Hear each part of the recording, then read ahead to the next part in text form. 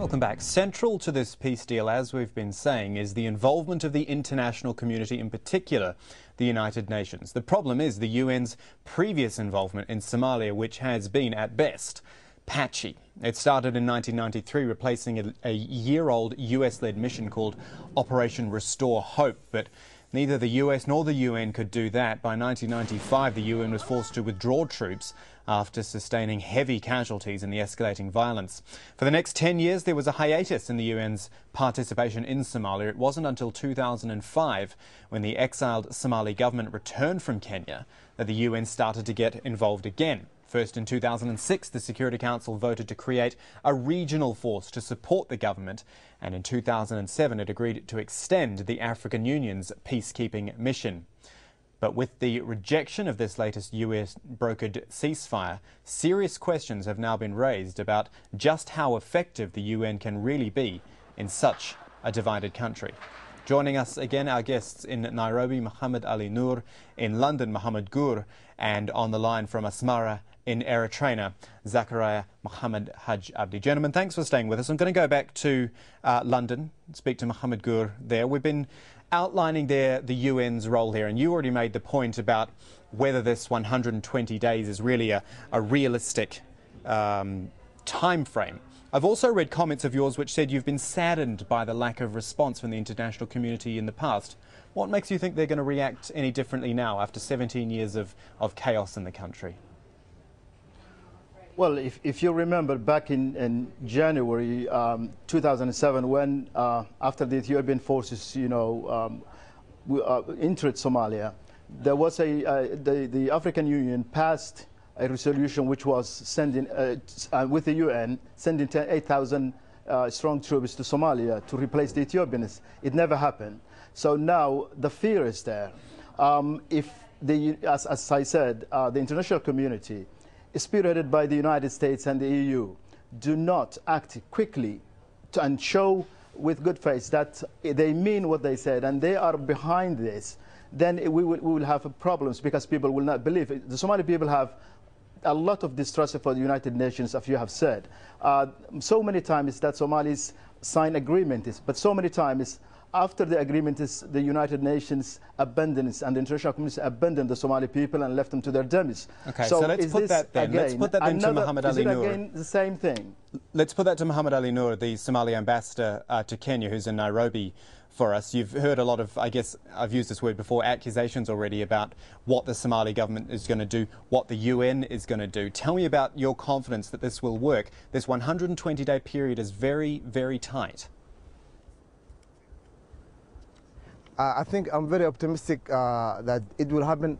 And also, I think there's a point worth it to make that uh, the Ethiopian troops actually were uh, invited by the TFG government uh, in Somalia, and the agreement was that they will go back as soon as African peacekeeping forces will come, which never happened.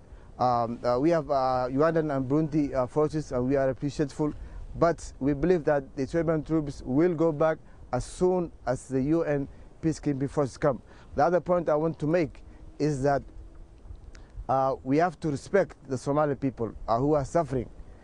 And we cannot, every time when we sign an agreement, saying that uh, there's this group, this group, this group now, the uh, ARS, ARS group, or who are in Djibouti, who are in Djibouti, who was led by the chairman, uh, Sheikh Sharif Ahmed, was there.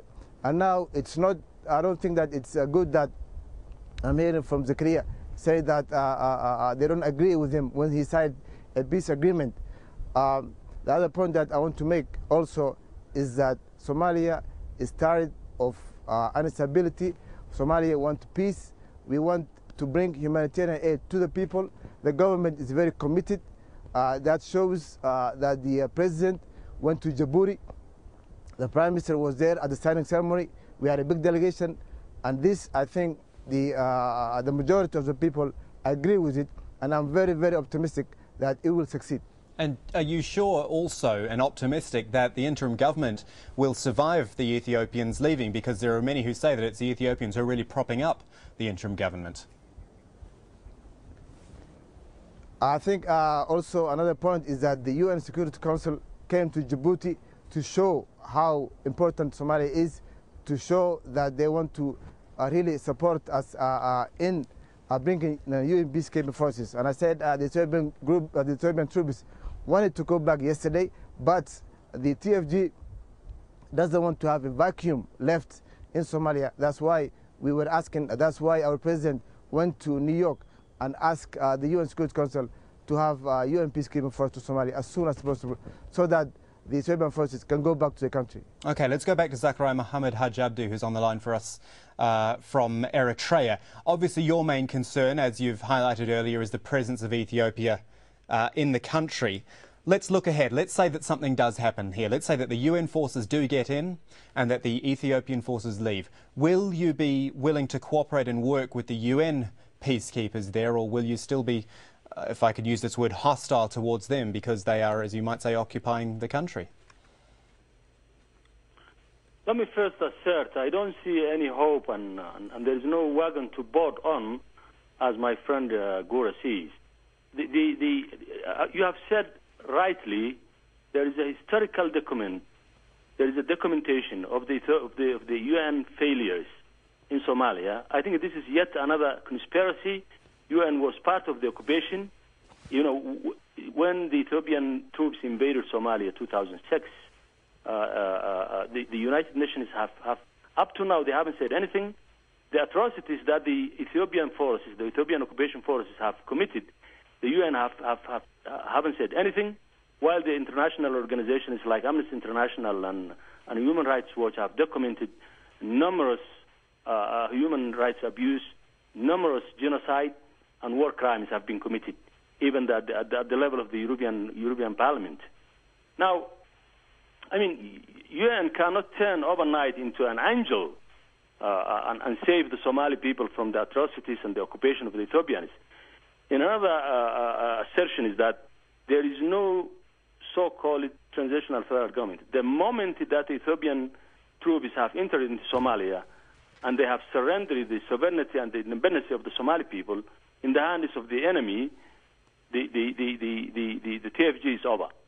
Therefore, what we are talking here, there is no Somali Somali conflict now in Somalia. This is a diversion, and actually, from the United, the reality, it, the, the diversion from the reality, from the part of the United Nations. If they were genuine, uh, genuine uh, reconciliation, they should talk about the occupation and the pull out of the Ethiopian occupation from the soil of Somalia. Okay, then we are going to have to leave it there. I'm sorry to interrupt you, sir, but we have run out of time. Zachariah Mohammed Hajabdi on the line from Eritrea, also Muhammad Ali Nur in Nairobi, and Muhammad Gur in London. Gentlemen, thank you for joining us, and thank you, our viewer, for joining us on this edition of Inside Story. Goodbye for now.